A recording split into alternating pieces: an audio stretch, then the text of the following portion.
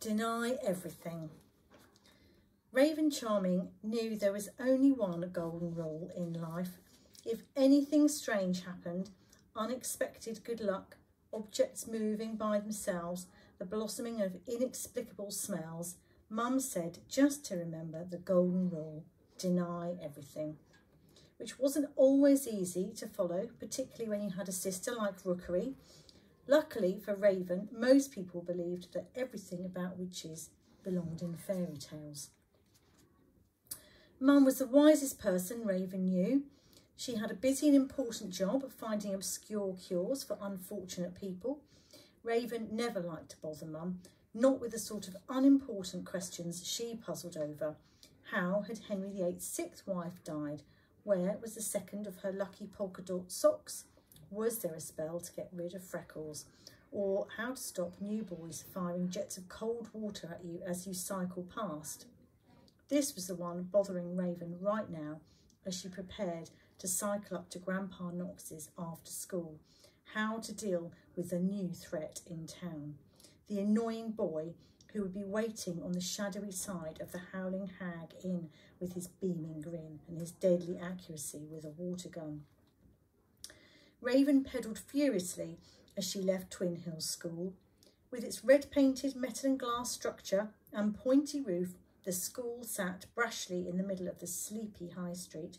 It sprawled with confidence, taking up more than its fair share of room among the snug cottages either side that looked as if they had huddled up closer to make space. She flew past her head teacher's overly orderly house, which always gave her the shivers, and by the time she got to the Howling Hag, she was really moving. The pretty inn at the centre of Twin Hills was made of bricks the colour of butter, with a low roof and tiny windows, pretty except for the unfortunately ugly pub sign of a hideous wart-faced old woman with a black cat and a broomstick. At least it offered chips, even on a Sunday. As she reached the Howling Hag, she braced herself for the jet of icy water she knew was coming. Then, right at the last second, Raven changed her mind and put on the brakes hard. Last night she'd broken one of her golden rules and interrupted Mum at her big cluttered desk, glasses perched on the end of her nose, poring over a load of old books and scrolls as she tried to work out how to turn, turn chocolate cutlery back into silver. Finch Charming had removed her glasses and chewed on one of the ends, considering Raven's question. The new boy's squirting water at you, the one whose lovely mum and dad have taken over the village inn. They brought a whole pizza to the youth club on Friday. Mum had put her glasses on top of her head, knocking her top knot at a precarious angle. He's new in Twin Hills. He's probably doing it to get your attention. Maybe just try to be friendly friendly with the person who's squirting water at me. Raven had repeated just to be clear that she had not misunderstood and hoping Mum might tell her she needed a biscuit to cheer herself up. Finch Charming was the sort of mother who was as likely to find a stray twig tied up in her hair as a fresh packet of extra strong peppermints in her pocket, but she could be a little strict about biscuits. I think being friendly would be the nice thing to do. Mum had nodded and gone back to studying a scratchy parchment. As well as being the wisest person Raven knew, one of Mum's amazing qualities was how nice she was to everyone. Her job as a curse breaker meant she spent her days helping misguided sorcerers out of tricky situations.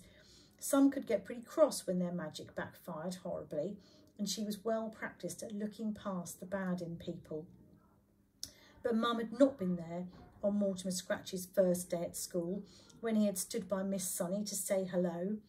Henry Figgins had chortled and said Snortimer was a funny name, and answering snigger had gone around the class. At first break, Henry had appeared with a bloody nose when he was being patched up by Mrs. Maudlin, the school receptionist, and the one who had the enviable responsibility of dishing out all the bandages and plasters from the first aid box. Henry had been strangely quiet about what had happened, mumbling something about having tripped. So Raven had to find her bravery to screech to a glaring stop right in front of the annoying new boy, annoying in, in many ways, not least because he was an extraordinarily good shot. The whispering in Twin Hill so the scratches moved around a lot, mostly to keep their son out of trouble. Oh, hello, my name's Mortimer. I know who you are. You're in my class at school, retorted Raven, concentrating on Mum's advice that if you sound brave, no one knows how you feel inside. How it really felt was, if, it was as if a little black hole had opened inside of her and it was sucking in all her courage. What I want to know is why you're squirting water at me. He was lean and wiry, taller than Raven, which was true of most people in her class. His hair was dark, possibly even glossier than Rookery's.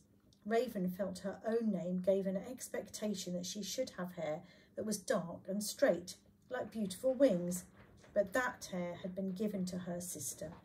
When she said her name, people tended to repeat it in a certain way, Raven, as if she had somehow got her own name wrong, because her own hair was annoyingly both fluffy and curly.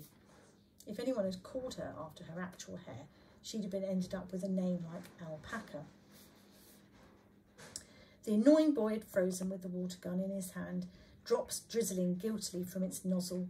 He shifted his arms behind his back as if that would make the huge orange water gun invisible. What I want to know, he leant forward and dropped his voice to a whisper, how do I meet the witch? Raven felt the world spin. This was truly the first time she had ever had to deny everything, and it gave her a prickling sweatiness that had nothing to do at all with the cycling. A thought had flashed through her mind. He couldn't possibly mean her sister. Could he?